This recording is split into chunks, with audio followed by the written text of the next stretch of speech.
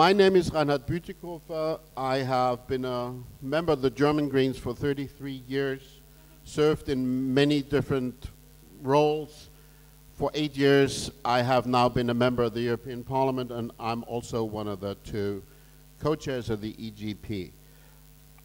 We will tackle in this panel the issue of a European ecological transition it's not the first time during these Journées d'été that we look at that issue, but we want to take the economic angle. How does it look from an economic angle? How does it look from a jobs angle? How does it look from an industrial policy angle? I heard one of these days, these busy days, that we're living in a post-industrial society. I'm not so sure about that. Maybe we talk about that also. Just to introduce this conversation a little, I would like to read a few sentences um, from a document that some of you might be interested to look at again. It's the manifesto for the European elections that was adopted in 2014 unanimously by all the green parties around Europe. And on economic policy, the title of that program was Europe Needs a Green New Deal. And I read a few, um, a few sentences. Quote, we Europeans should unite our strength, which is what sovereignty means, in order to shape our own future instead of socially deaf and environmentally blind austerity, we propose three coherent avenues to sustainability. Fighting unemployment, poverty, and all forms of social injustice, transforming our economies with innovation and eco-efficient solutions to tackle climate change and environmental degradation, and re-regulating the financial industry to, so it serves the real economy. We call this a European Green New Deal. That was our definition of the, what the Green New Deal meant. And that was in 2014. And then further on in the paper, by becoming world leaders in inventing and delivering solutions that make a good life possible for everyone while respecting the limits of our planet, we will find the key to a new economic dynamic for jobs and prosperity. Austerity, as imposed in the recent economic crisis, has taken us in the opposite direction. And um, the last passage is then from a subchapter on industry, and this reads, we want to transform our European economy into a global champion of energy and resource efficiency based on less energy intensive technologies and renewable energies and on improving the way we manage, use, reuse, recycle, substitute, and value resources. We want resource efficiency and eco-innovation to underpin policies and investment in all sectors of the economy. This green offensive will create many new quality jobs for high-skilled as well as low-skilled workers in a variety of industries. And it will enhance working conditions and workers' health. It will also enhance future economic resilience.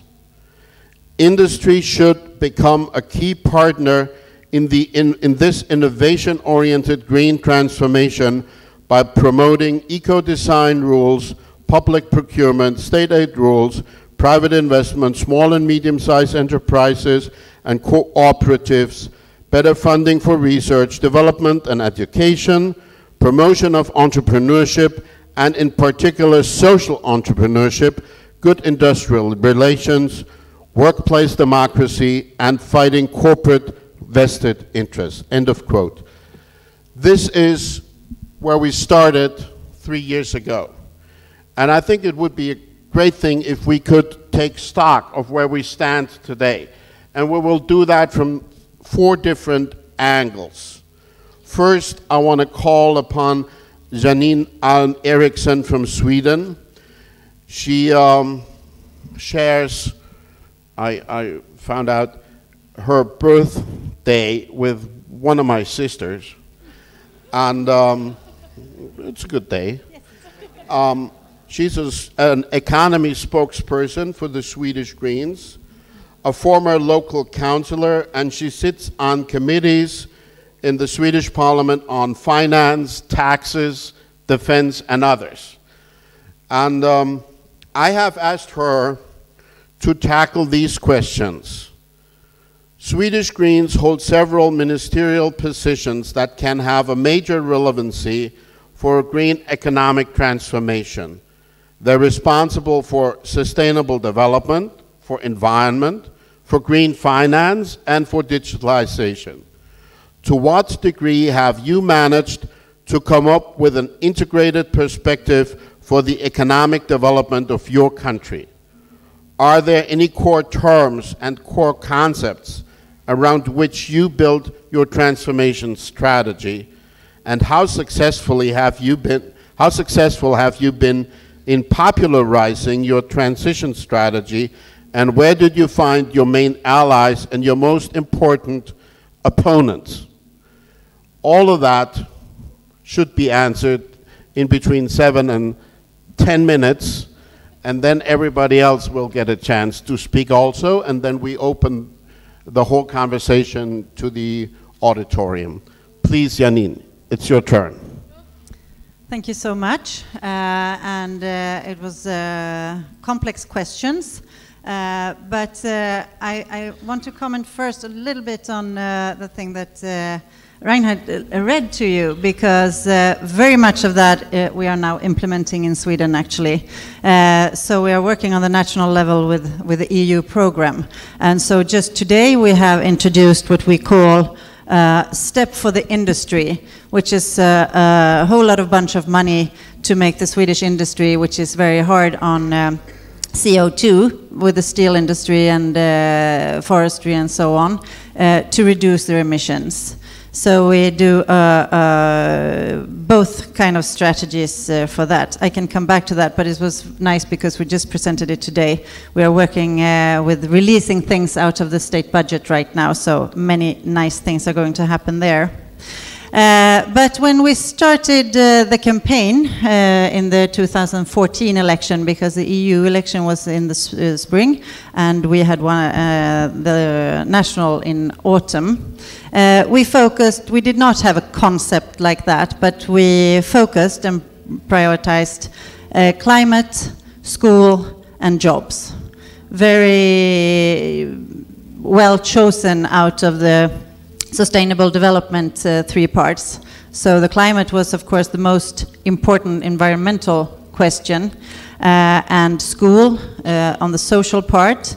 Uh, very important to build a strong society for the future, but also a good school is, of course, a way to prevent uh, the far right forces and the populism to to get hold of a country if there's a good school.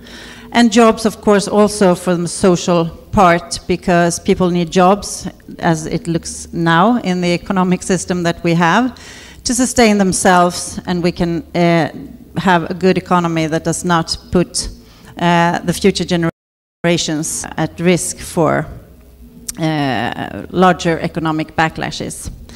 Uh, and so uh, this campaign was uh, not as successful as we wanted it, uh, but we ended up in uh, government with the Social Democrats, which was a very good and learning experience. Unfortunately, it's a minority government, so even if we are two parties in the government, we are supported by the left party to get our budgets through the government. We still, uh, in other questions and in other proposals, we can never be sure to have a majority. And that is, of course, uh, making the uh, work not as efficient as we had hoped for, of course. Uh, but so we had to find a way to, to work with what we had. And so we have been uh, dealing a lot with big policy decisions.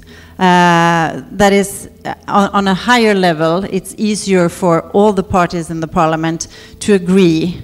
I mean, uh, Sweden signed the, the um, together with the EU uh, the Paris Agreement, of course, and that everybody wants to stand up for. And so we built on that principles. Uh, we have a climate law that is now passed. We have a policy framework for climate. Uh, and uh, a, a committee to follow that. So we have built around the climate and environmental issues the same uh, thing that we have with the financial thing, with the budget and, and the financial framework. And so we have, we say that it's equally important. Uh, because that is on the financial side and the state budget, it's not legal binding either, but it's a very strong thing to show. And so it's also that. So, uh, because when doing these um, uh, works with the other parties, of course, we are talking to the ones that are most uh, interested in climate and environmental issues there. Uh, so, so there's, and we also put a framework if we would uh, not be in the government for the next uh, period, because uh, this is the kind of framework that would stay, and so we are uh, like strengthening that society in that way. But the government also do a lot of things that we do not have to pass through the, the parliament. And one of the uh, this, this is a bit complicated sentence, but uh, we have said that we want to be one of the first fossil-free welfare states in the world. And that is something that we can, you know, put a lot of policy on uh, dealing with. So uh, when, when we want to, to get things passed with the Social Democrats that we first have to be agreed with, uh, we can always, you know, point in this direction. So also today we are very happy to announce that we will now get uh, tax on aviation in Sweden, and uh, that proposal we will pass uh, in, in, this autumn in the budget too, which has been a very large uh, question of debate in Sweden.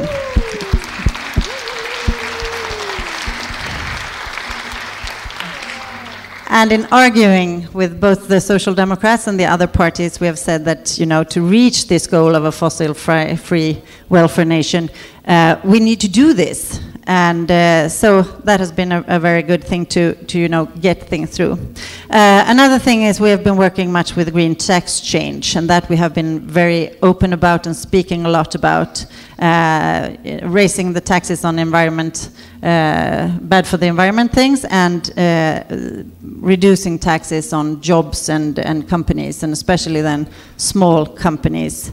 Uh, which is, we have been more successful doing the tax raising on environment actually, but we have also done other things for smaller companies. But then Sweden is also right now in a very good position. Uh, the, the uh, uh, uh, unemployment is uh, sinking and we have a very good economy. So we can, we can work on many parts here. But another big thing is that we've been working with green tax cuts for repairing, like shoes, bicycles, clothes, washing machines, and, and things like that, to uh, get the, the circular economy uh, moving. And so that is also a thing that we have been talking about much and doing policy around is the circular economy. And there we have so many on board because circular economy is something that even the most uh, moderate Republican person can like because they like the idea of it. So there is something that we can work together with. Uh, and um, also the, the sharing economy, of course, which is a part here that we have been doing a lot because our Minister of, of Finance, uh, not Finance, uh, Financial Markets, which is uh, one of ours, uh, Per Bolund, he's working very much with this uh, in, in his uh, department. Um, we have also pointed out that environment, uh, we have an environmental part of the state budget where we do uh, reports and everything and shows what the different kind of proposals is doing to the, the, the, the climate and environment. Uh, and also now we have alternative or complementary ways to measure welfare. Uh, in an order to you know broaden the con uh, the concept of uh, what is a, a wealthy state. Is it just the GDP or or is it more things? And now we have that actually in the budget too, which is going to be very interesting to follow. Uh, and the last is, of course, that we are very much talking about the polluter pays principle, uh, and that is, uh, you know, the taxes, but also helping the areas where we need to make a transition, like uh, and transform the the companies from being very heavily in fossil and uh, to other things. Um, like uh, with the aviation taxes, we have also been uh, talking very much about biofuel for airplanes, like we have to develop that. And as you know, we have a lot of uh, forests, and so we can do a lot of fuel with a, with a um, uh, Uh, trees and forest uh, things. Uh, on the issue of uh, are we um, are we popular? Uh, I have to unfortunately say right now, no, we are not very popular. We are around in the polls. We are around where we have to be to to get into the parliament again. Uh, I am sure that that will uh, be turned once we uh, get into the election mode, and it's in one year. So we're now starting up, and so this. Uh, the seminar that was before here, I was listening very carefully to be uh, as successful as as the countries that were here, uh, because we need to do that.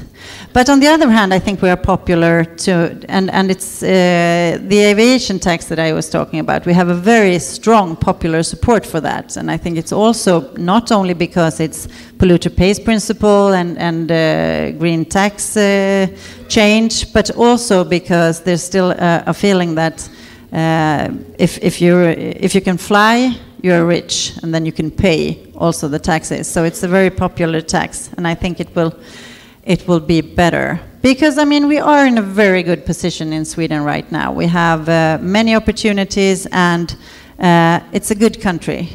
But uh, the opposition, where we also have uh, the Swedish Democrats, which is uh, basically like Front National, uh, they also want to give a picture of that, you know, Sweden is a country in very much difficulties because of taking so many refugees. Uh, but uh, we have to show them in a way that it, that is not the case. So, uh, as a start, that was um, what I had to say in this round. Thank you.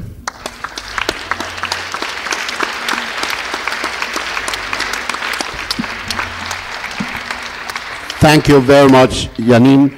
Uh, it's extremely encouraging just to listen how you list practical successes that have been facilitated by your uh, influence in the Swedish government. Great, great story.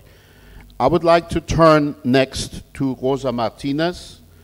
Rosa Martinez is an ecologist and an ecofeminist. Yeah. That, that's what Wikipedia says. Yes. She's also a co-spokesperson of ECO and has served in that position since 2014.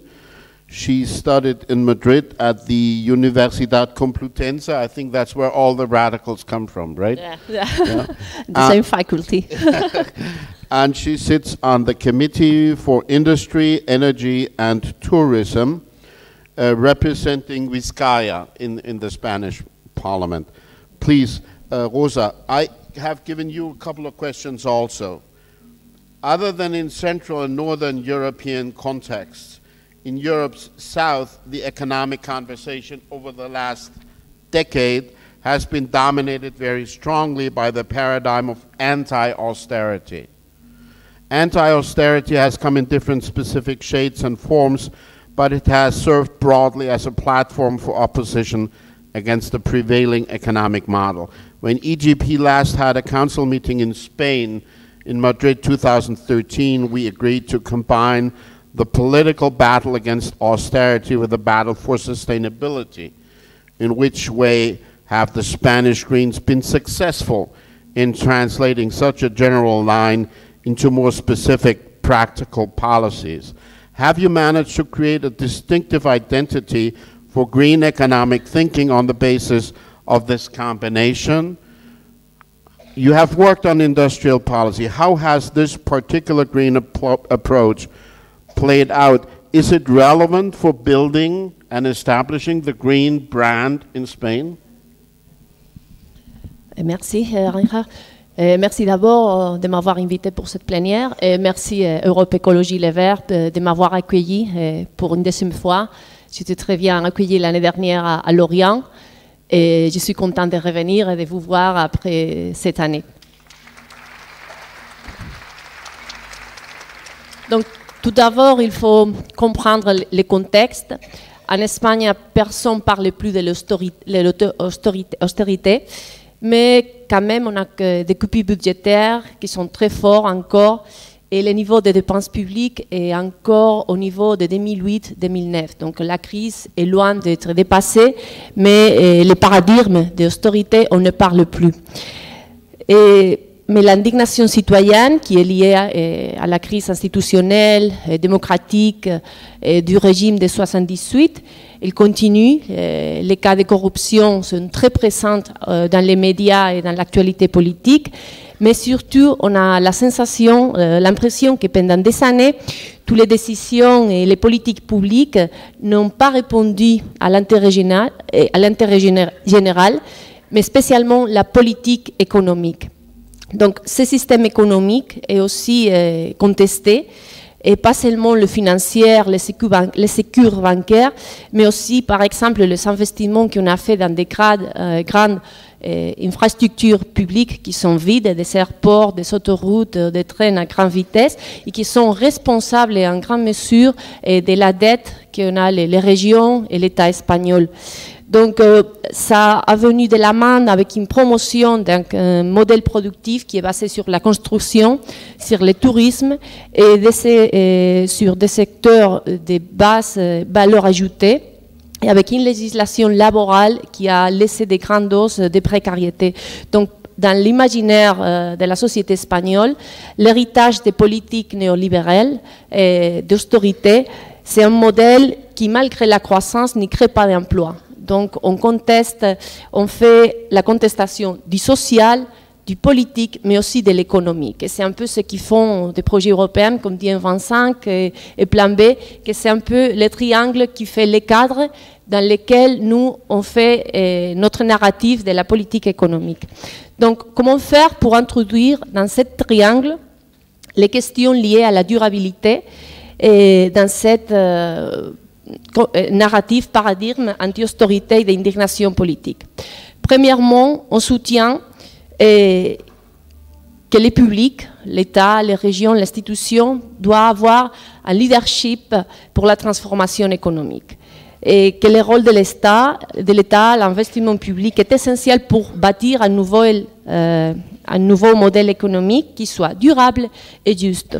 Donc la réversion de l'austérité aussi à voir avec la politique productive, euh, avec l'économie.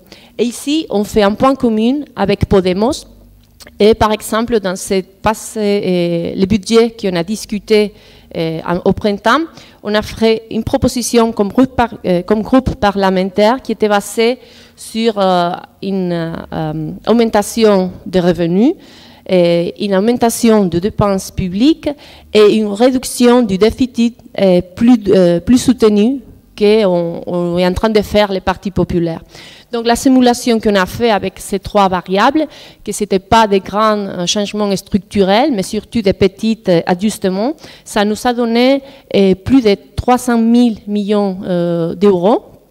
Euh, la proposition qu'on a fait, c'était 40 millions pour la promotion de l'emploi, la recherche, le développement, la politique industrielle, la transition énergétique et les secteurs primaires et l'environnement. Donc, avec ça, on a voulu montrer que la lutte contre l'austérité n'est pas seulement un outil, mais c'est un incontournable pour faire des politiques, euh, durables, au moins en Espagne. Donc, le deuxième point, d'un côté, c'est effectivement que le, euh, le rôle de l'État doit être proactif et on a besoin d'investir plus dans une direction euh, correcte, concrète, mais aussi que l'économique, bien sûr, a des conséquences sociales, mais aussi des conséquences euh, environnementales. Par exemple, un modèle qui exploite des personnes, mais aussi euh, qui exploite les ressources naturelles et qui a un impact sur le, territoire, sur euh, notamment par exemple la construction. De la même façon, l'austérité, les coupures budgétaires ont accru la crise sociale, mais elles ont mis en question la durabilité et ont exacerbé la crise écologique. Les coupures budgétaires, par exemple, ont affecté à toute l'action climatique et les politiques environnementales de toute façon. Donc, en, résumé, en conclusion, les décisions politiques n'ont pas cherché l'intérêt général, ils ont mis le patrimoine naturel qui c'est commun euh, au service des intérêts particuliers. Et donc, euh, cette idée, ça lie, euh, ça mène très très bien avec le cadre d'indignation et fait partie de la même narrative anti-austérité. Un exemple qui, pour moi, c'est une réussite politique et qui est devenu hégémonique en Espagne, c'est la transition énergétique. C'est environnemental, bien sûr, parce qu'on défend et on parle des renouvelables. C'est aussi une question sociale avec la crise, euh, les cas de pauvreté énergétique, la question de l'énergie comme un droit, c'est au front des débats publics, mais c'est surtout un débat politique, parce que les, décisions énergétiques du gouvernement ont bénéficié surtout aux grandes corporations électriques, on paye l'électricité la plus chère euh, de l'Europe et les cas de portes tournantes sont courantes euh, dans les gouvernements du passé. Donc euh, ces trois facteurs, ces trois dimensions de transition énergétique, c'est tellement puissant qu'aujourd'hui tous les partis, les partis socialistes, Podemos, Ciudadanos et les libéraux, ils maintiennent la même narrative. Il y a bien sûr des différences, mais euh, la question qu'on veut approcher avec la transition énergétique, c'est tout la même, euh, c'est le même pour les partis. Donc, on n'aurait jamais réussi à faire de la renouvelable, de la transition énergétique, un euh, sujet central du débat politique sans la dimension sociale et sans la dimension politique. Donc, maintenant, une fois que l'opinion publique a compris ou accepté ces trois euh, dimensions économiques, environnementales et politiques, c'est plus facile, dans l'éco-énergie, c'est plus facile qu'ils acceptent ces relations aussi, par exemple pour la politique d'infrastructure, pour la politique des territoires ou même pour la politique industrielle. C'est-à-dire, à ce moment-là, la question de durabilité, c'est mainstream. Euh, c'est une idée qui s'est acceptée. Et c'est une idée générale de bon sens qu'on a besoin d'un nouvel modèle productif qui doit être durable et qui doit euh, tiendre, euh, compte des questions environnementales. En fait, à ce moment en Espagne, l'espace vert est en dispute. À part euh, du, du du Parti vert, on a le Parti socialiste qui depuis le printemps a fait de la transition écologique son nouveau message politique. Ils ont un programme économique progressiste et vert qui est soutenu par la figure de Cristina Narbona, qui est la présidente du parti, c'est un ancien ministre de l'environnement environnement est très respecté et réputé. Et ils sont en plan de communication très très ciblé pour euh, se mettre au centre comme référence de l'écologie en Espagne. Euh, deuxièmement, on a Podemos, qui de plus en plus, il ajoute des questions euh, vertes dans son discours et ses propositions. Il y a beaucoup d'écologistes à Podemos. Son équipe économique se jeune, dynamique. Ils sont euh, très proche et convaincu de l'économie alternative et des questions euh, liées à la durabilité. Néanmoins, il y a aussi un parti de Podemos qui a une vision plus traditionnelle euh, de l'économie et donc des fois c'est plus difficile de se mettre d'accord sur des questions d'emploi, des politiques industrielles. disons qu'ils ont une vision plus syndicaliste, on va dire comme ça. Et le troisième espace où la durabilité et un axe de la politique, c'est les, candidatures citoyennes qui ont gagné beaucoup de, maires en 2015, par exemple Madrid et Barcelone. Donc euh, la plupart de ces candidatures citoyennes ont fait de la durabilité l'un de ces axes euh, des politiques et maintenant c'est euh, le drapeau des actions politiques. On fait des mesures à Madrid et Barcelone et qui, sont, qui font vraiment des politiques locales vertes. En gros, c'est difficile euh, pour nous maintenant euh, de marquer la différence euh, par rapport à la narrative, mais c'est plus facile quand on descend dans une situation spécifique. Par exemple, l'année dernière, avec la, crise de l'acier au Pays Basque, on a fait une analyse des situations, on a, on a ciblé bien notre proposition au Pays Basque au cas des suicides qu'il y avait là. Et quand on, s'est réuni avec des travailleurs et des stakeholders, ils nous ont dit que notre proposition, que notre diagnostic était le plus réaliste et que les solutions qu'on proposait, c'était vraiment ce qui pouvait passer et qui pouvait euh, vraiment faire la, la solution. Donc, quoi faire? Au-delà de cette expérience, euh, pour nous, euh, en, termes de politique industrielle, c'est difficile parce qu'il n'y a pas euh, une politique industrielle nationale. Il n'y a, pas même en Espagne un secrétaire d'État pour l'industrie. Donc il y a des grandes disparités régionales. Euh, autant les, poids de l'industrie, euh, les secteurs ou les traditions économiques. Et c'est très très difficile de faire une approche euh, générale pour la politique industrielle. Je pense que pour nous les Verts, le, défi, c'est de faire des propositions rigoureuses et différencier à partir de cette narrative anti-austérité, indignation politique et questionnement des systèmes économiques. Et mais surtout descendre au niveau régional. Et c'est aussi plus facile si on fait euh, secteur par secteur et on analyse le défi qui vient, la décarbonisation, la digitalisation, comment faire une industrie plus efficiente et, moins polluante. En fait, les solutions pour l'automation, c'est pas la même euh, que pour la chimie ou euh, les papiers, etc. Donc, je pense, je finis. Et donc c'est comme ça qu'on va travailler au Pays Basque. On va travailler euh, vraiment la condition du Pays Basque. On va travailler sur un secteur. Et, et voilà, je pense qu'en en gros, on a fait un bon travail pour encadrer notre politique industrielle dans ce contexte.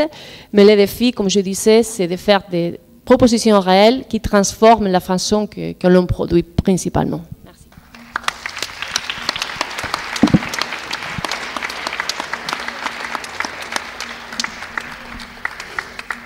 Thank you, Rosa. I feel the situation that you're describing is the kind of situation we always wanted to have.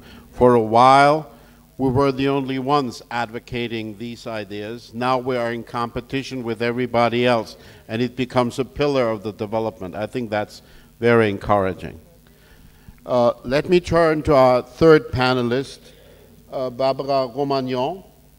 Uh, as it happens, you share my other sister's birthday date. Um, Barbara has done a whole lot of stuff uh, on, on many progressive causes. Now? I, I think I should repeat that. Barbara has done a whole lot of work on many progressive causes she studied as a student organizer at UNEF. She did work on human rights, women's rights, third world issues, sports, trade union work. She represented the Département d'Oux uh, for five years in the National Assembly, and since 1995, she's been a member of the Socialist Party. We welcome our socialist sister to the Green family. Please, Barbara, uh, we have questions for you also. How will closing down a third of the French nuclear capacity influence the jobs market, industrial competitiveness, and innovation? Starting a nuclear phase out was already promised by the Hollande government. Why should we expect that it is going to happen this time? What's making the difference? apart from the nuclear phase out, what are the main initiatives that French industries must take to implement the principles of sustainability? Please.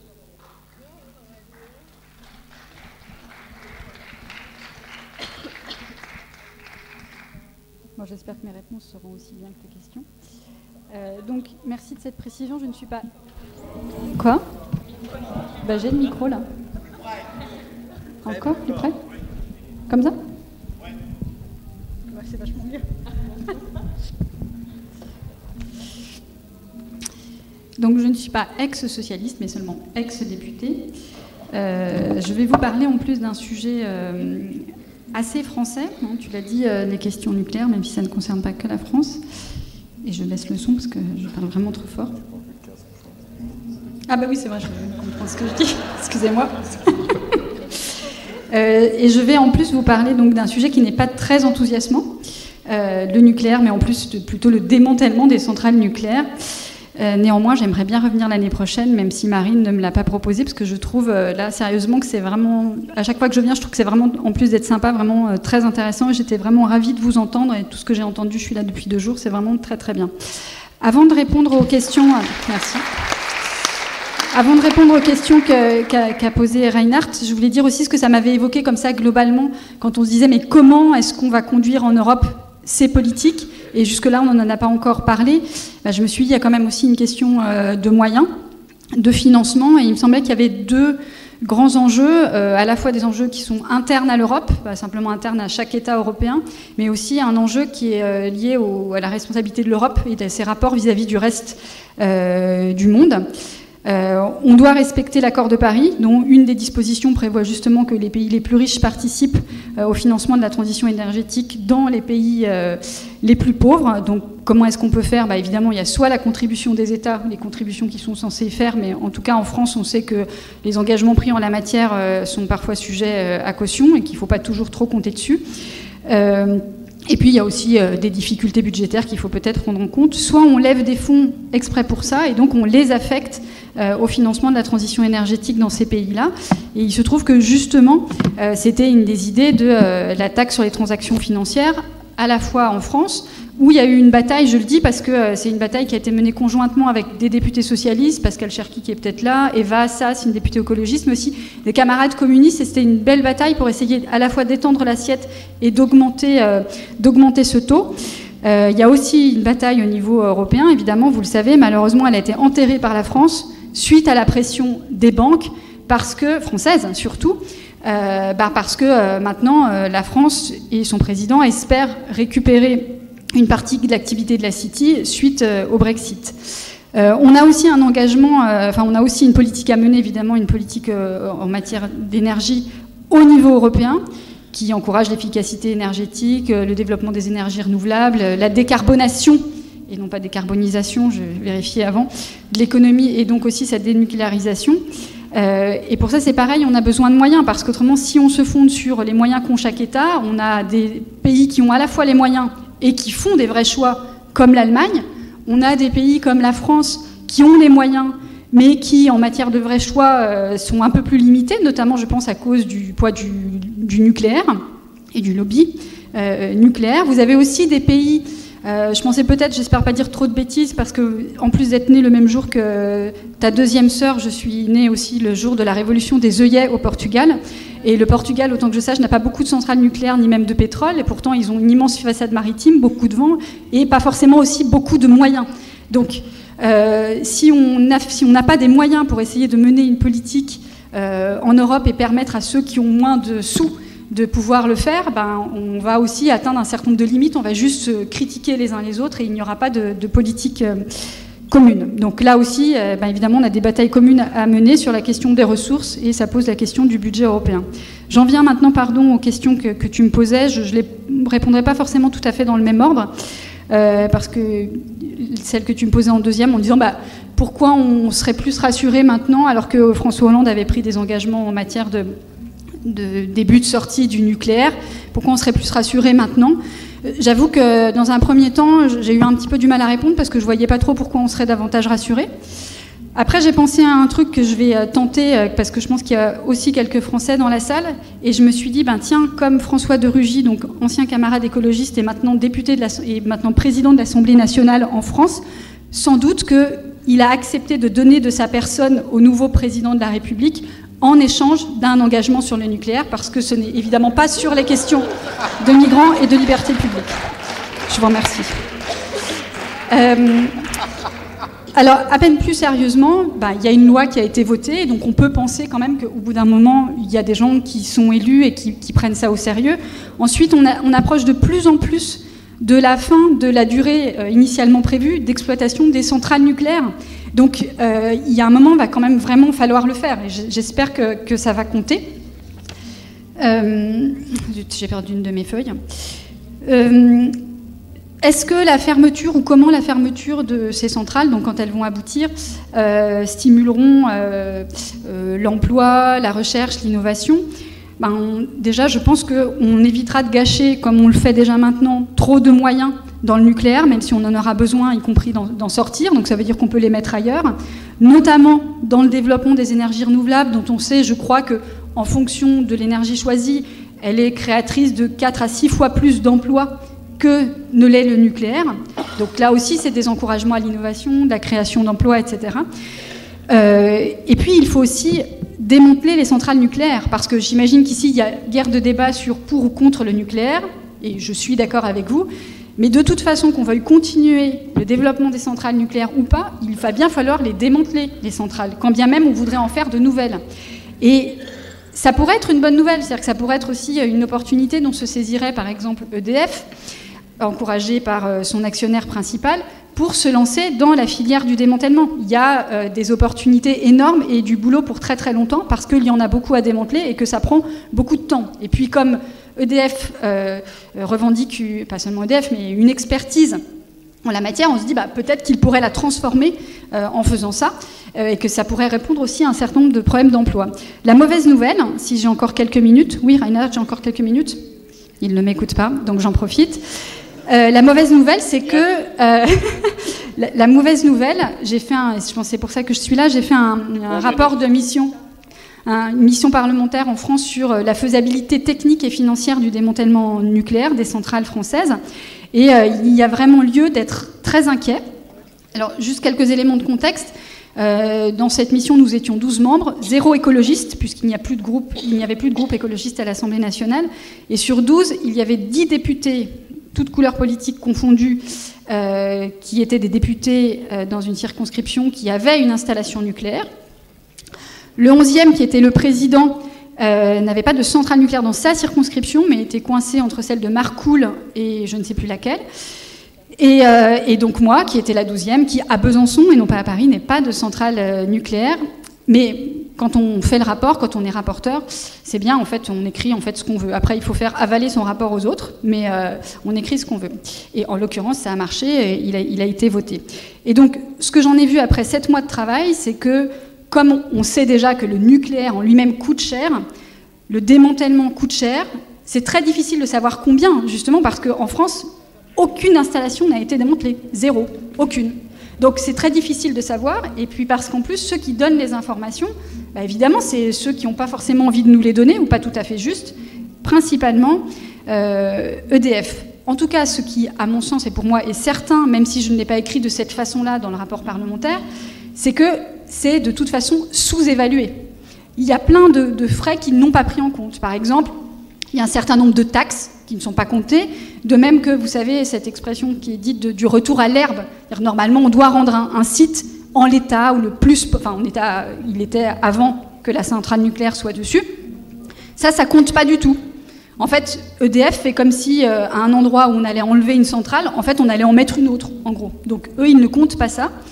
Euh, ils ne comptent pas non plus la gestion du combustible usé. Il y a plein d'autres choses comme ça qui ne sont pas comptées. De même que c'est basé sur une méthode d'évaluation qui s'appelle Dampierre 2009. Donc vous avez entendu, 2009. 2009, c'est avant Fukushima.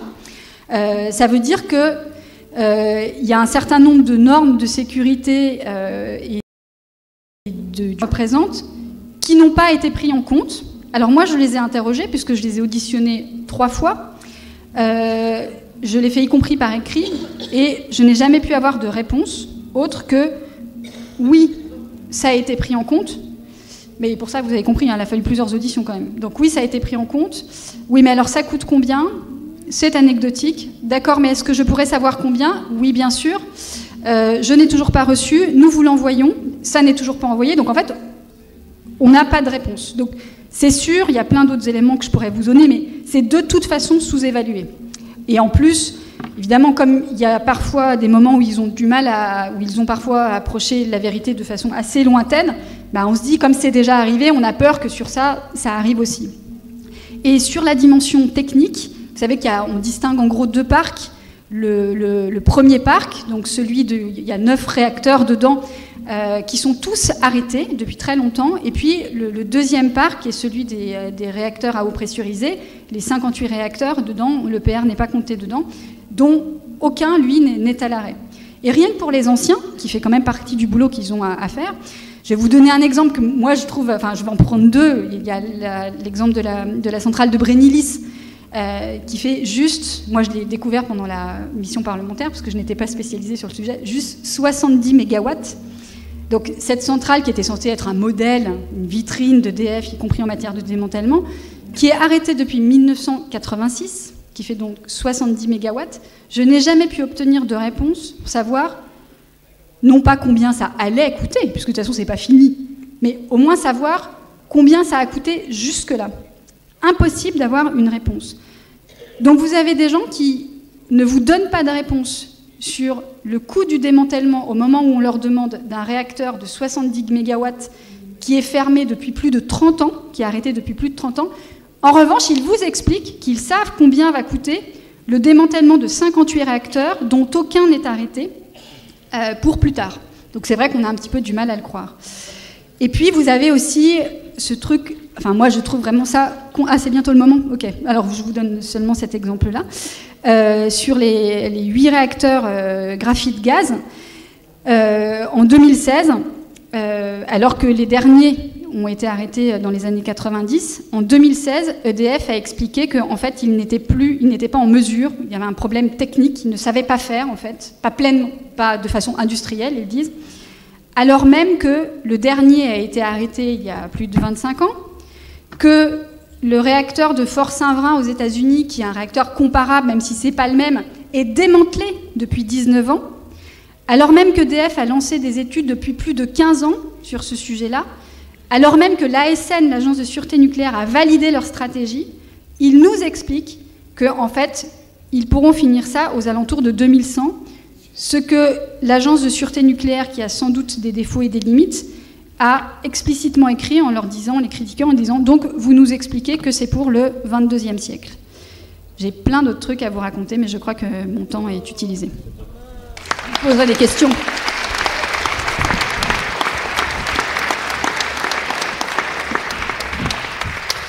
Thank you, Barbara. You tackled the unenviable task of describing some of the problems of a transformation.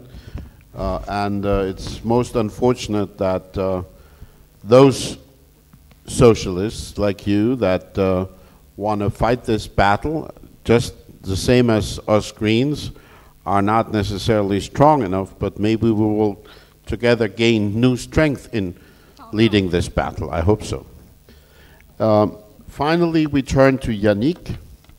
I think all of you know a lot of, lot of stuff about Yannick, the former Green presidential candidate, worked for Greenpeace for six years, is the, um, an MEP since 2009, uh, deputy chair of the trade committee. One thing I learned in preparing is that you have lived in Burkina Faso and Bangladesh. I didn't know that. Um, I have three difficult questions for you. The French Greens, I think it's fair to say, were extremely successful in the European elections of 2009 when they advocated the Green New Deal as a core strategy on the way forward. It doesn't seem, though, that the Green New Deal has caught on as a green strategy. On the other hand, in the last presidential elections, competing candidates like Hamon or Mélenchon have tried to integrate some Green New Deal ideas and green concerns with their own economic strategies. Is the Green New Deal agenda being taken away from the Greens? Would we have to reformulate it to have new successes? And uh, what are the weaknesses of our green transformation concept, which European policies would have to play a major role in green transformation? Merci euh, Reinhard, merci de tous ces compliments sur nos stratégies électorales. Euh, pour se replacer, je pense collectivement dans le contexte.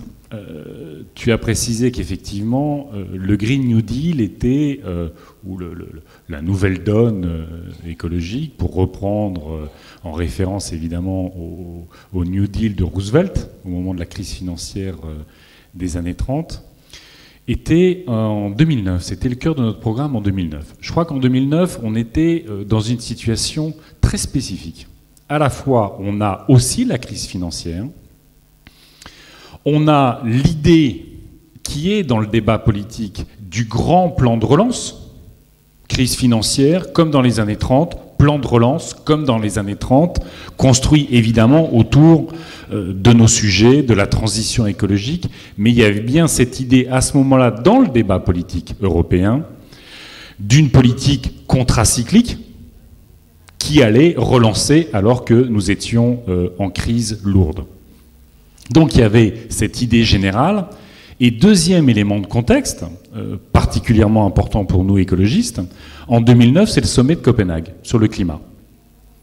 Et il y a un enthousiasme à l'échelle internationale et évidemment à l'échelle européenne d'un sujet, d'un défi commun que nous allions résoudre de manière commune. Il y avait beaucoup de naïveté autour de Copenhague. Tous les présidents, y compris le président Obama nouvellement élu, allaient résoudre la question de la crise climatique. On allait de nouveau construire du multilatéralisme et on allait de nouveau, ensemble, construire euh, une réponse à la fois économique, sociale et évidemment euh, à un défi majeur. Les années qui ont suivi ont cassé et la perspective d'un plan de relance global et évidemment, après Copenhague, la perspective d'une réponse commune au défi euh, de l'humanité qui est le dérèglement climatique. Qu'est-ce qu'on a eu? On a eu, plutôt qu'un plan de relance à l'échelle européenne, on a eu la discipline budgétaire et l'austérité. Alors que nous étions dans la crise, nous sommes le continent qui a dit à tous ses citoyens, et c'était les politiques en place, il faut vous serrer la ceinture. Cette crise des dettes privées, venue des États-Unis, eh ben, vous allez vous serrer la ceinture, chacune et chacun, pour rembourser.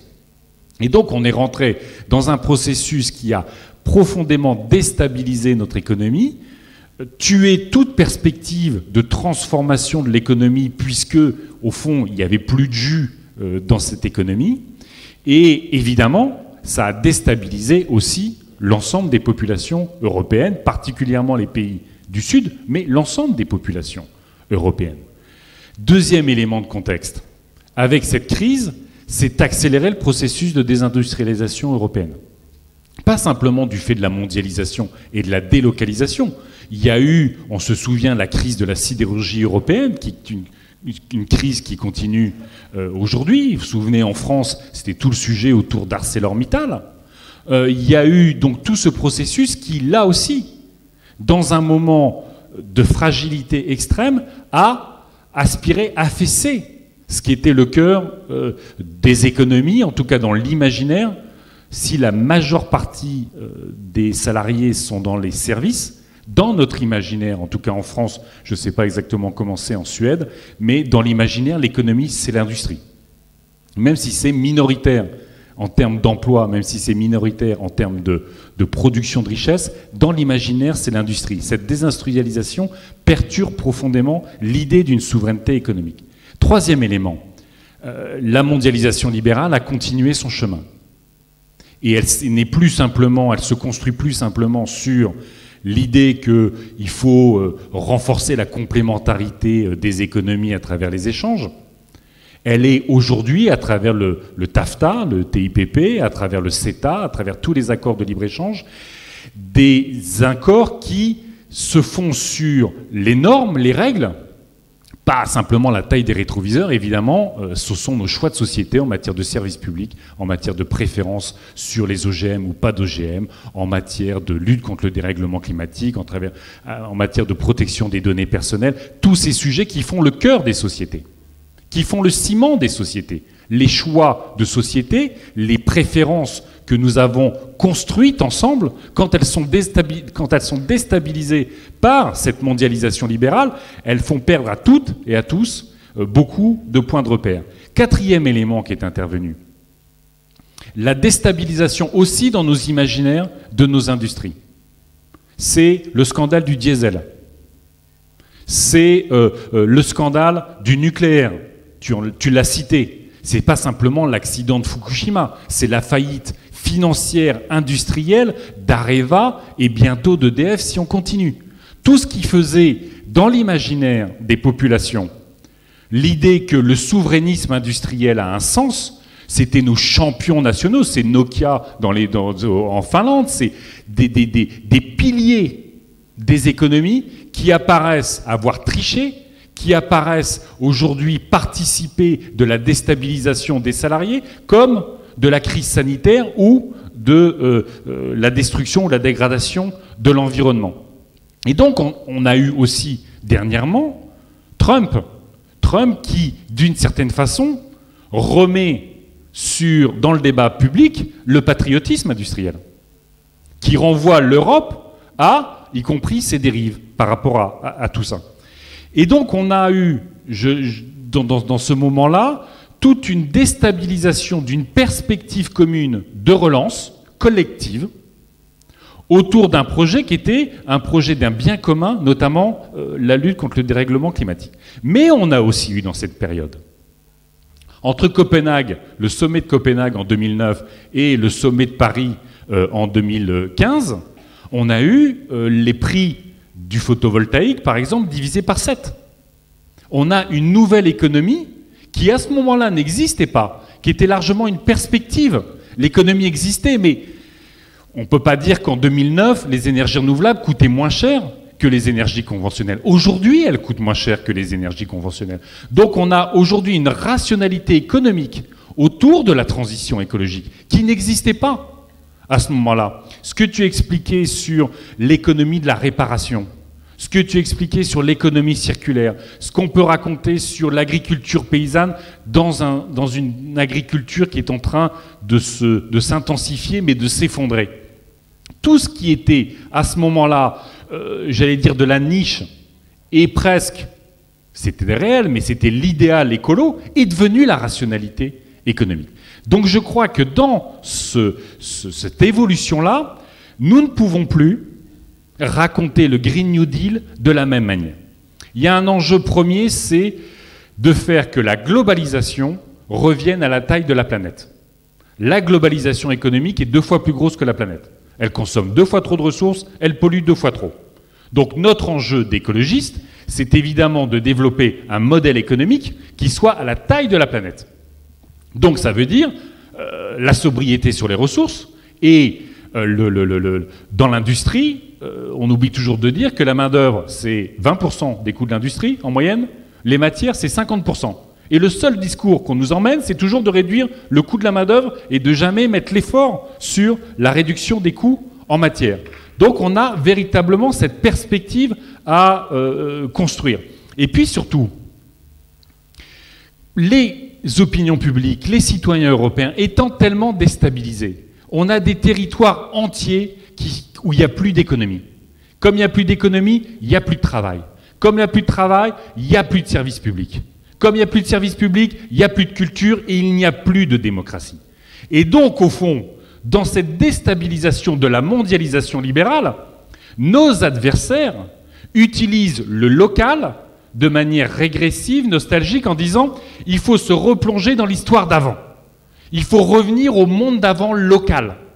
Et nous, notre enjeu, c'est de faire l'articulation entre une économie, un modèle de développement qui se réduit pour respecter la planète, mais qui ne soit pas un Green New Deal, simplement une sorte de modèle euh, de, plan de relance européen global, mais qui soit d'abord un plan de relance, j'y viendrai, mais qui s'inscrit immédiatement sur les territoires, qui raconte immédiatement que c'est pas simplement un million d'emplois ou deux millions ou trois millions qu'on va créer à l'échelle européenne, mais notre discours, c'est les dizaines d'emplois qu'on va créer à l'échelle locale. Quand on va réduire la TVA sur la réparation, c'est des artisans à côté de chez vous.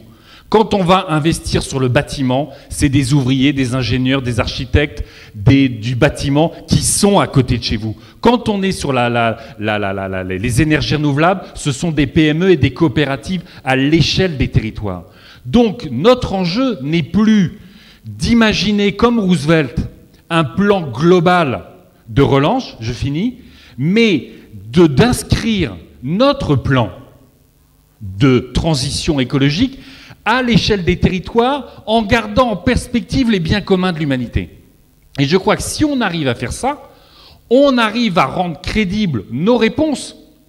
Parce que justement, ce n'est pas le fantasme de grands chiffres à l'échelle d'un continent, mais c'est des emplois à côté de chez soi. Et ça devient réel et nous parlons ou nous répondons, je crois, aux besoins essentiels des populations. Deux derniers mots. L'Europe n'a pas de politique industrielle. la dérive, un, des déficits extraordinaires de l'Europe, c'est qu'elle s'est construite sur les consommateurs, elle s'est construite sur le marché, du fait des souverainismes nationaux, du point de vue industriel, elle n'a jamais eu de politique industrielle. Donc dans sa construction de la mondialisation, elle favorise la Commission européenne, les instances européennes, par, déficit de, construction pour protéger les producteurs. Elle pense toujours aux consommateurs, elle pense toujours à la liberté du marché. Et du coup, ce, déficit extraordinaire de ne pas avoir à l'échelle européenne une politique industrielle commune autour de la transition énergétique. Ça, c'est un déficit qu'il faut absolument combler. Le deuxième, et je finirai vraiment là-dessus, c'est euh, ce que nous portons depuis longtemps, à l'échelle, y compris à l'échelle européenne, ce que j'appelle la COMET, la Communauté européenne de transition énergétique. La BCE, la Banque centrale européenne, crache tous les mois 60 milliards d'euros pour refinancer les banques. Nous pouvons au moins utiliser la moitié pour investir à travers des banques d'investissement, investir sur les territoires, et une fois qu'on aura créé de l'activité économique sur les territoires qui fait sens, une fois qu'on aura de l'emploi durable, non délocalisable, eh bien oui, on aura des services publics, on aura de la culture, on aura de la démocratie et on aura des citoyens qui arrêteront de voter le Front National et de détester les étrangers, qui seront en capacité de porter aussi une société ouverte. Merci.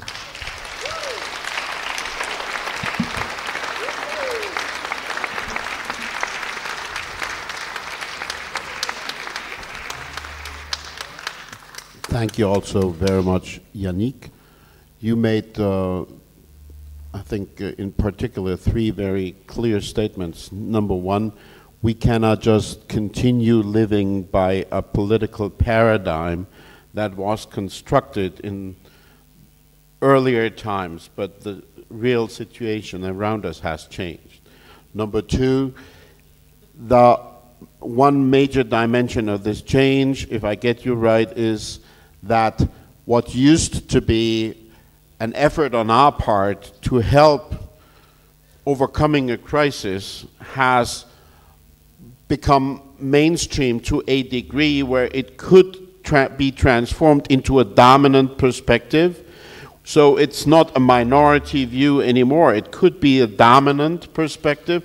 And, but third, it has to take root in the regions and not just be a European uh, idea.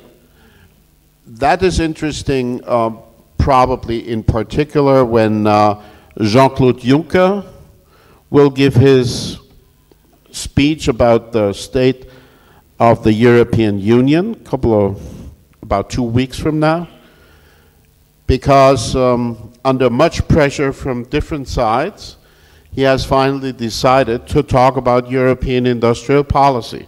You say the European Union hasn't had an industrial policy.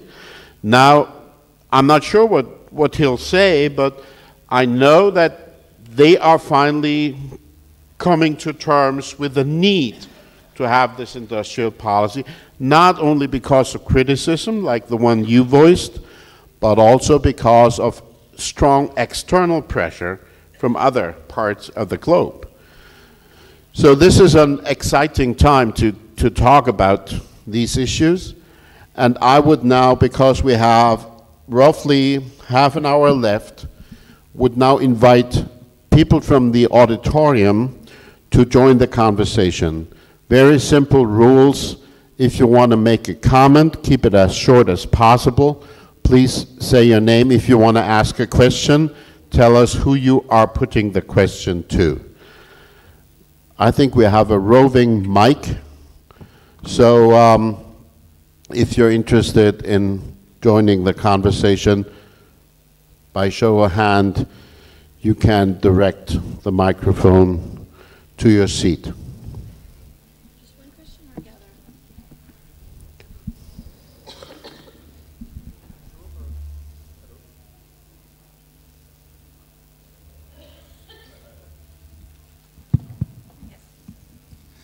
Bonjour, Renaud, Versailles, en France.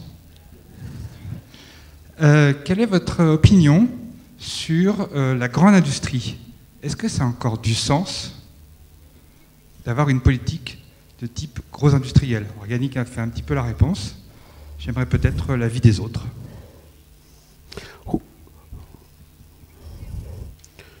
Is, is it big industry still part of the development? If, if I think this is your question, is big industry, should big industry still be considered a part of a, a transformative development, right? What do you say, Rosa? Peut-être c'est pas le futur, mais on a besoin de la grande industrie. Donc euh, le défi, c'est voir et qu'est-ce qu'on fait avec la grande industrie qu'on a, parce qu'on a besoin de l'acier, on a besoin des de métal, comment faire que ça soit moins polluant, et que ça euh, produit ici ce qu'on a besoin. Mais je pense que ça doit être au centre des politiques de futur, ça c'est clair. Mais on peut pas, peut pas l'oublier. Je pense qu'il faut euh, avouer, avouer et reconnaître comme écologiste qu'on a besoin de certaines productions pour cette transition et pour le monde dans lequel on vit. Donc euh, voilà, on va, on va voir qu'est-ce qu'on fait, mais sans doute euh, il faut compter avec elle. Janine? Uh, yes, uh, Rosa said it very well here, I think. We still need industry, and uh, in Sweden we have a new industrialization uh, policy, but it has to be like transformed into green jobs and being a part of the sustainable development in, in all its parts.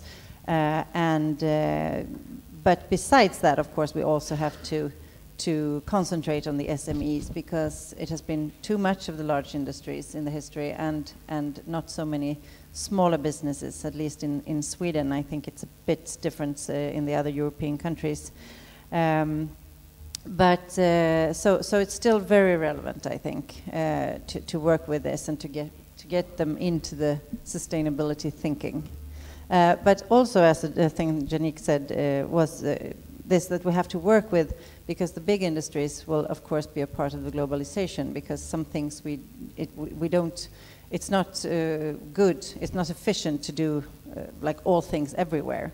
But so the local economy is also very important to develop in this because some things should be done large scale globally uh, and but the things that are more suitable for local economy we should do there so that's uh, both very important parts Thank you, Barbara. Oui, enfin, moi, je suis, je, suis plutôt d'accord avec ce que les, les, autres ont dit avant. En France, par exemple, néanmoins, il y a quand même un peu trop de grosses entreprises et euh, on a un problème, il me semble, dans le de tissu intermédiaire. Donc, il faut que ça change. Mais pense qu'il y a des secteurs dans lesquels on en a encore besoin et que, euh, par exemple, pour la question du démantèlement, c'est vrai que j'ai du mal à imaginer pour l'instant euh, plusieurs petites PME installées euh, sur différents territoires, d'autant qu'il faut aussi qu'on sache comment est-ce qu'on fait, qu'est-ce qu'on fait aussi de, de, ces grandes entreprises maintenant. Si je reprends l'exemple d'EDF, quelles que soient les critiques qu'on peut faire, il faut bien qu'on se soucie quand même de, quand bien même plus tard ça puisse être découpé en plusieurs euh, entreprises, etc. Aujourd'hui, il y a des salariés dedans. Enfin bon, on va pas juste dire que tout ça, ou espérer que tout ça soit terminé et, et s'écroule. Donc de toute façon, je pense qu'on a encore besoin des grandes et peut-être qu'on en aura toujours besoin. Mais c'est vrai qu'il faudrait que le tissu économique soit un petit peu plus équilibré. If I may, euh, la question c'est est-ce qu'on ferme l'usine qui est à côté, à Grande-Sainte, ArcelorMittal? C'est ça au fond ta question On peut la fermer et se dire finalement l'acier dont on a besoin, euh, il va venir de Chine. Ou il viendra euh, d'Ukraine ou d'ailleurs. Je pense que notre responsabilité, c'est y compris de casser euh, l'image que pourraient avoir les écologistes sur le fait que cette société ouverte que nous voulons, cette mondialisation que nous voulons, c'est l'exploitation des classes populaires au sud et l'abandon des classes populaires au nord. Je pense que ça, c'est aujourd'hui la perception pour une grande partie de l'opinion publique de la société mondialisée. Et donc, notre responsabilité, il n'est pas que d'éviter la pollution à Grande-Sainte, mais de la transférer en Chine. Notre responsabilité, il est de travailler avec Arcelor pour que la production d'acier dont on a encore besoin, y compris pour faire des éoliennes, et ça ne se fera pas dans une PME, se fasse dans les meilleures conditions sociales et environnementale. De la même façon, euh, moi, quand j'étais, euh, on était au Parlement avec euh, Reinhardt, on s'est battu contre, des fois avec des approches différentes, contre le dumping chinois, à la fois sur la sidérurgie, mais aussi sur les panneaux photovoltaïques. À l'époque, un panneau chinois, qui arrivait de Chine, il était vendu à la moitié de son coût de production. Ça a divisé les écologistes. Beaucoup ont dit, comme on remettait en cause un peu les tarifs d'achat, beaucoup ont dit, eh bien c'est génial, on va en installer beaucoup plus. Toute la société, toute la partie service des photovoltaïques s'est dit, bah, des panneaux pas chers, on va pouvoir développer l'usage du photovoltaïque. Mais la réalité, c'est qu'on a tué l'industrie européenne du photovoltaïque, très largement. Et au moment où la technologie nous permet de bénéficier du soleil et du vent gratuitement, on se remet dans une dépendance industrielle géopolitique sur un sujet aussi essentiel que l'énergie. Dernière chose, dernier exemple, la batterie des voitures électriques. Alors Yves n'est pas là, donc euh, on peut en parler. Euh, la batterie électrique, l'enjeu c'est de savoir si on va en produire une pour les voitures, hein, si on va en produire une en Europe. Pour l'instant, il y a la Chine et les États-Unis sur la batterie, batterie électrique pour les voitures. Ça, c'est un enjeu de politique industrielle européenne. Est-ce qu'on en produit une en Europe qui crée de l'emploi et qui favorise aussi une mobilité, si l'électricité vient des énergies renouvelables, une mobilité propre. Well, I would, I would agree completely with what the experts are saying. I would add just one sentence. If we want to facilitate the environmental transformation, having industries here makes it easier if you don't have the industries, somebody else will decide whether they are going to be transformed, and you will be dependent. So, from a green point of view, if you want to push the transformation, you should make sure that the industries here play a role. So, um, somebody back there in the, in the center with a red shirt.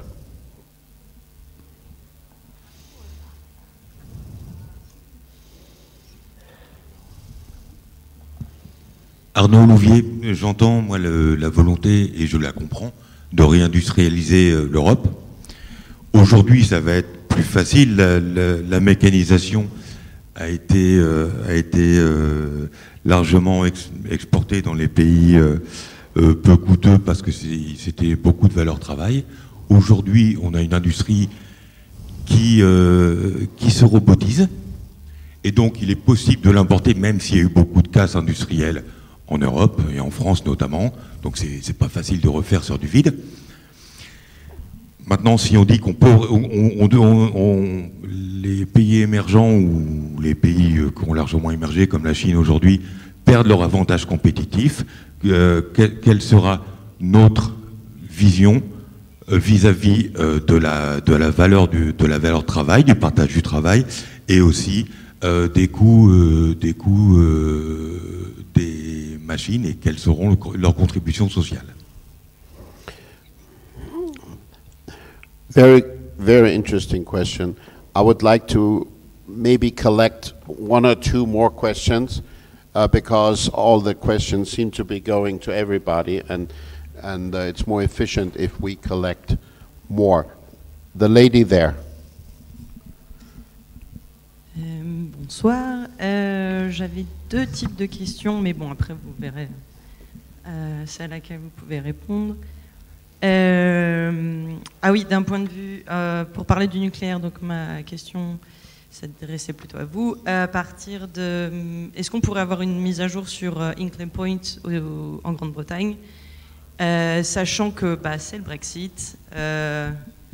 et vous, en tant que député européen, est-ce que vous avez un peu plus d'infos? Pas euh, euh, voilà, de, de ce qui se décide. Et aussi, euh, j'avais une autre question pour les députés français. Que pensez-vous de l'industrie du bois en France, sachant que donc dans des pays tels que la Suède, c'est une industrie qui est assez conséquente, et qu'en France, on a, enfin, de ce que je sais, on, on a plutôt tendance à la sous sous-exploiter, enfin sous, on, on a un potentiel d'exploitation de, de la forêt qui n'est pas, enfin, on a du potentiel, et du coup, je voulais connaître votre position euh, là-dessus. Voilà, je vous remercie. Thank you. Thank you for those questions. Then there is a young man here in the front row. Yes, um, thank you very much. Uh, I will take a little break now, and since I know you can all understand English, so I will speak in English also. Um, yes, uh, we have. Um, I'm Robert Wager from Munich, Germany, and uh, I'm very happy that we had such great days and that we've talked also quite a bit about the planetary, planetary boundaries and how, how important it is to, to respect them and to uh, um, design our politics accordingly.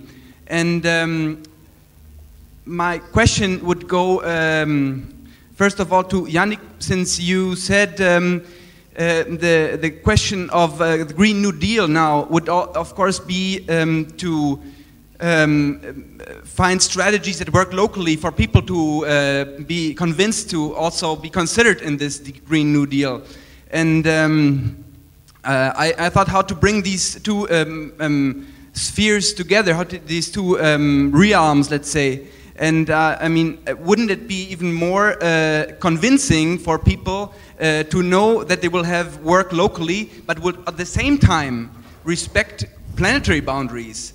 It, how, what's the approach here? How, how, do you, how would you say we can uh, provide jobs locally and at, at the same time assure that we will do everything possible to respect planetary boundaries? I mean, this is a question uh, to you since you brought the topic up, but maybe you others also have ideas.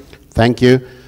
There's a lady in very far in the back.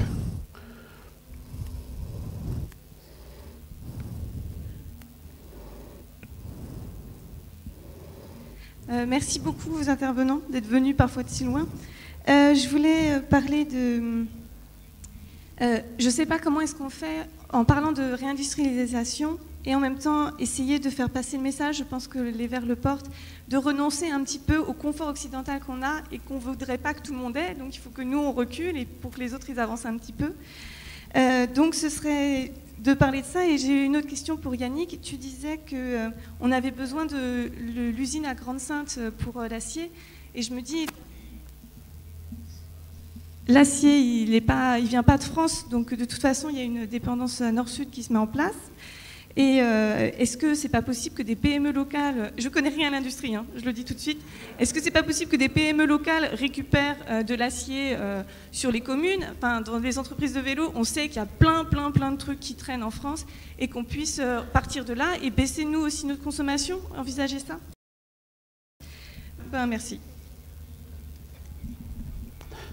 Thank you. There's a gentleman over here. Euh, Jean-Pierre de Normandie. Euh, deux questions. Euh, D'une part, bon, Yannick, à juste titre, a parlé de la reterritorialisation des investissements européens en fonction des, des besoins, savoir-faire et potentiel des territoires. Mais ça pose une question. Par exemple, si on prend l'exemple de l'énergie solaire, bah, il vaut mieux évidemment faire des panneaux solaires dans les pays qui sont les plus ensoleillés, la Grèce, le Portugal, et pas forcément l'Allemagne. Dans l'autre sens, il y a des trucs qu'il faut faire en Allemagne et pas, ailleurs. Donc ça pose des questions de fédéralisme et d'intégration européenne et de dépassement de l'intergouvernemental. La deuxième question dans les trucs que tu as dit, Yannick, il y a peut-être encore une autre modification, c'est que la, concurrence, la mondialisation, ça a changé depuis 2009. Aujourd'hui, l'impact de la mondialisation est beaucoup moins important. En Chine, euh, les salaires ont augmenté, il y a des mouvements sociaux, etc. Donc on n'est plus du tout dans le... Et ailleurs, on n'est plus du tout dans le même, euh, dans la même concurrence. Donc ça aussi, c'est un élément que vois bien avoir votre avis là-dessus. And I take another two, and then I think we have to return to the panel. The gentleman here, and then the lady over there. Sorry for the others. On, on- on a parlé euh, de, de politique, donc Pierre Virlogeux de Toulouse. Donc on a, parlé de politique industrielle européenne, mais il y a eu des exemples dans le passé où effectivement il y a eu une politique industrielle. Je pense à deux choses, puisque je suis à Toulouse, hein. c'est Airbus et Ariane. Et effectivement, est-ce qu'on ne peut pas euh, refaire un deal européen sur la transition écologique et énergétique euh, du même type euh, Bon, ça ne prendra peut-être pas forcément la même forme, mais que ce qui s'est passé pour Airbus et Ariane? And the lady in the third row here.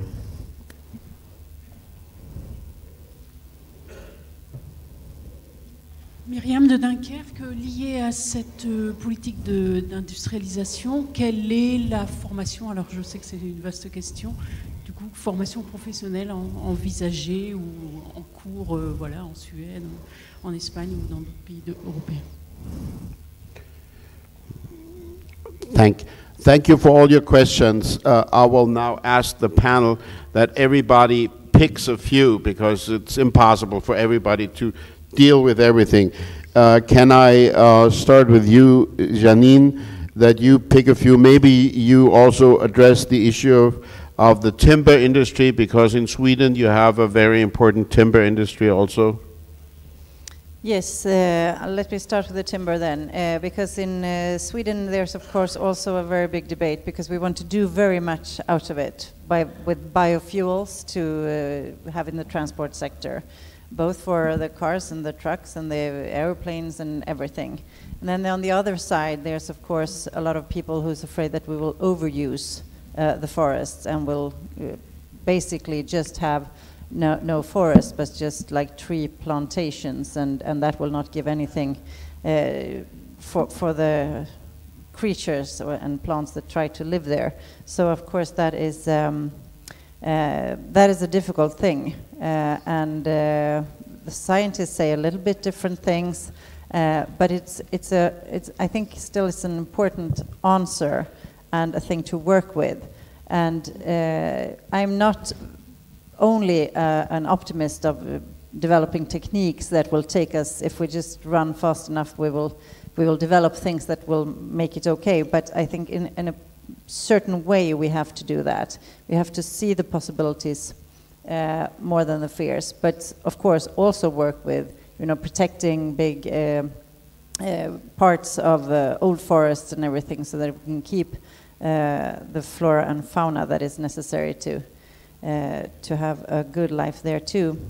Uh, I also want to say a thing about the. Um, I, I was talking about before that we today presented uh, a thing in the budget with uh, a lot of money to the industries uh, to develop, uh, to be a part of, of the uh, transition here, and that is uh, also a concept that we have taken that is called steel without CO2. It's, um, it, it sounds better in Swedish, but uh, stål utan kol. Uh, and, and that is, of course, a very important thing uh, to work with so that we can keep, like, steel industries and be a part of that, just like Reinhard said, too, that we can work with the transformation of industry and making more sustainable. Uh, and on the question of automatization and what that will do to our working markets and, and the social parts of uh, sustainable development, it's of course it's very early to say. Uh, the OECD has done uh, a study of uh, how many uh, works that will disappear, but they see that it's basically mostly part of works that will disappear. So in Sweden, we right now try to work with um, uh, fewer working hours. I know that you in France have had 35 hours as a, a normal working week. Uh, and we are now also looking at things uh, and different levels and if, if we could share the work for that right now. But as I said, in Sweden the unemployment is, is going down, so uh, I think we'll have a difficult time to get uh, the others to listen. But it's also very much a welfare question that people should, you know, uh, have the strength to work all their working life and so on. Thank you.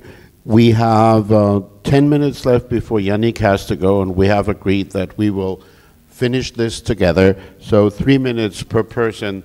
Rosa, you're next. Euh, je vais prendre la question sur euh, les concepts de réindus- réindustrialisation. Moi, j'aime pas trop ces concepts parce que vraiment, je pense que dans l'imaginaire, c'est d'augmenter euh, l'industrie. Et pour moi, c'est plutôt euh, transformer ou faire la transition industrielle. C'est-à-dire, c'est vrai qu'il faut créer l'industrie parce qu'on a détruit beaucoup de- de- des emplois industriels, mais c'est surtout, on doit réfléchir qu'est-ce qu'on veut produire, comment on veut les produire et pourquoi et pour qui on veut les produire. Et c'est clair que ces, ces relations entre le Nord et le Sud, ce qui doit être la différence entre nous, les écologistes, et le capitalisme vert. Si on reste dans les normes, les formels, la façon de produire, et on euh, on n'approche pas l'inégalité, donc ça restera tout la même chose. Et c'est ça que c'est le mainstream, le formel. Mais je pense que nous, on doit euh, parler plutôt de transition peut-être socio-écologique. On veut euh, être dans l'écologie, mais réduire aussi les inégalités. Et euh, deux mots très rapides sur la formation. Je pense qu'à ce moment-là, le CETA, les institutions publiques, on n'a pas... ne, prête pas l'attention nécessaire à faire des analyses des profils qu'on va en avoir besoin. Et ça, il y a un risque, parce que euh, c'est l'écart digital, on dit comme ça les- euh, La différence d'éducation euh, digitale, le digital gap. Di- Digital gap. Fracture numérique, ok. Et donc la fracture numérique, c'est pas seulement une, une question euh, femme-homme, de genre aussi, mais aussi d'âge, mais aussi d'accès à la formation et aussi nord-sud. Si on passe euh, dans une, euh, une économie numérique tout à fait, l'écart nord et sud, ça va continuer. Donc la formation, c'est une question clé, mais pas seulement de former des professionnels, mais s'assurer que tout le monde a l'accès à la formation nécessaire pour avoir des accès à- aux emplois. Thank you. Rosa, Barbara, please. Oui, mais je, je- partage tout à fait ce qu'a dit Rosa. En plus, je trouve qu'elle l'a vraiment très très bien expliqué. Et pour reprendre l'exemple du démantèlement nucléaire, euh, bah, ça c'est une industrie qui euh, nous permet de nous débarrasser, enfin de nous débarrasser, malheureusement non, pas totalement, mais euh, des centrales nucléaires. Donc je pense que ça aussi c'est vraiment quelque chose d'utile et qui nous permet de progresser dans la transition écologique. Je voulais intervenir moi aussi sur réagir sur la question du temps de travail. Euh, alors, pardon, j'ai mal entendu votre question, donc du coup, je vais réagir seulement sur ce que j'avais entendu. Mais euh, moi, je trouve que c'est toujours une bonne nouvelle qu'on ait besoin de moins de temps de travail humain pour produire des choses, parce qu'il y a des boulots épanouissants, mais enfin, il y a d'autres choses épanouissantes que le travail, et puis il y a aussi euh, des emplois qui ne le sont pas tellement. Mais je voulais, euh, comment dire, modérer un petit peu ce qu'avait dit, euh, excuse-moi, euh, ce que tu avais dit sur, le, sur la question du temps de travail en France. Le temps de travail moyen d'un salarié à temps, salarié à temps plein en France, c'est 39,6 35 heures, c'est le temps horaire légal, mais y compris quand on prend le temps moyen, parce que ça c'est le temps de travail moyen d'un salarié à temps plein, quand on prend le temps de travail moyen, c'est-à-dire quand on prend aussi en compte les travailleurs à temps partiel qui sont en France comme ailleurs pour plus de 80% des travailleuses, euh, et ben en France on travaille plus qu'en Allemagne et qu'en Suisse par exemple, parce qu'on est à 37 heures et demie. Euh, donc on a encore de quoi partager le travail, euh, y compris en France, et le répartir un petit peu mieux.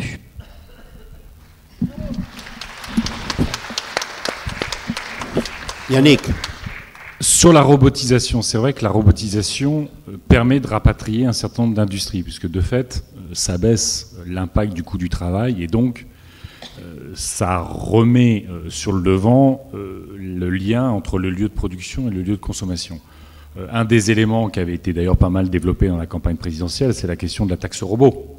Hein, c'est comment, euh, au fond, la robotisation contribue à la protection sociale. Donc ça, c'était un des éléments. Euh, oui, il y a des euh, commence à y avoir un peu de mouvement en Chine, même si il se faut plutôt taper plus aujourd'hui que hier. Mais euh, la question du coût du travail reste un sujet majeur euh, de dumping social à l'échelle internationale ou de concurrence entre les salariés à l'échelle internationale. Quand c'est pas la Chine, ça devient le Vietnam. Quand c'est plus le Vietnam, ça devient l'Éthiopie. Donc on est de toute façon sur. Il y a tellement de pays qui sont dans des situations dramatiques qu'il y aura toujours potentiellement euh, un dumping social ou une concurrence euh, par, par le coût du travail. Et du coup, ça me renvoie aussi à la question de, de c'est quoi notre solidarité vis-à-vis des pays du Sud?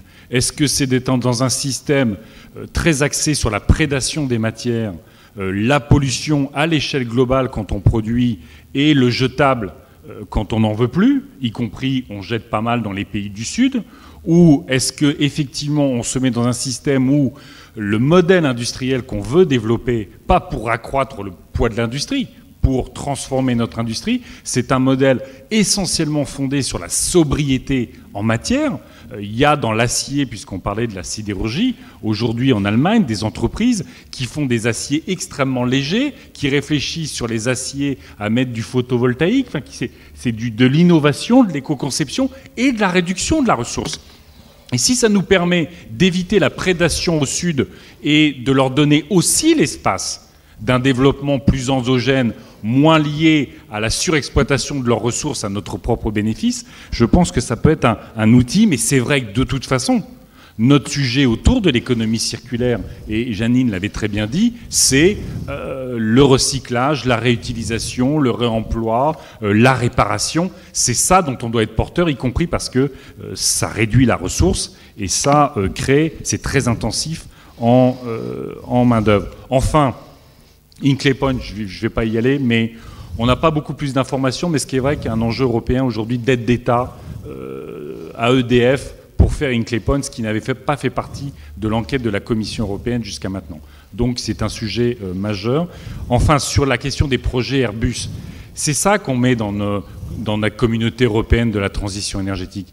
C'est plein de projets de coopération entre les collectivités, entre les scientifiques, entre les industriels, entre les citoyens, autour de cette transition énergétique, des énergies renouvelables, de la sobriété énergétique, des réseaux comme euh, des transports. Et si on arrive à construire ça, on donne une autre image de l'Europe.